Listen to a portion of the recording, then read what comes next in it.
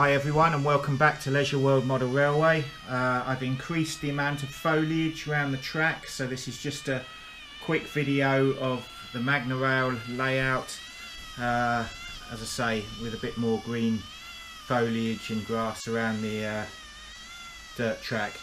Uh, this is a single continuous bit of plastic 0.6 mil in thickness which is thicker than recommended but it generally seems to work although they do come off occasionally down up on that little slope there. Uh, but yeah just this is just a quick video just giving you an update with the uh, extra foliage that I've added. Uh,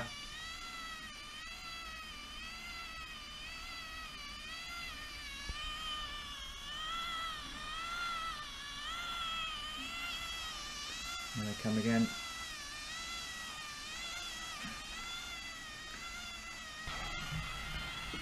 Here it is from another angle.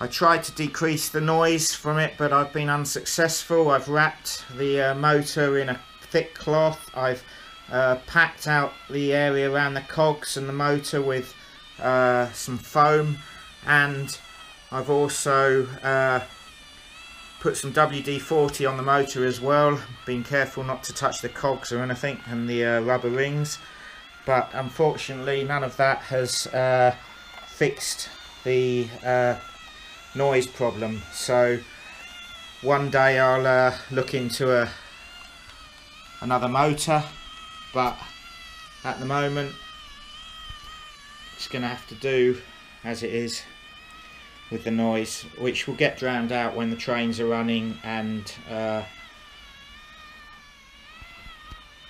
and and uh, other items are running on the track.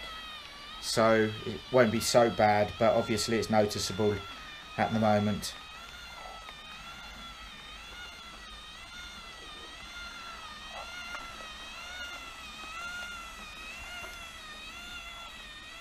so there you have it that's the latest update. Uh, I've also put a tree in there and another traffic bollard just here.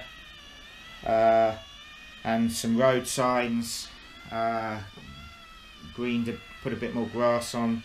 So think uh, no overtaking signs down the slope. I'm hoping to put in a working speed camera on this slope for the Faller stuff.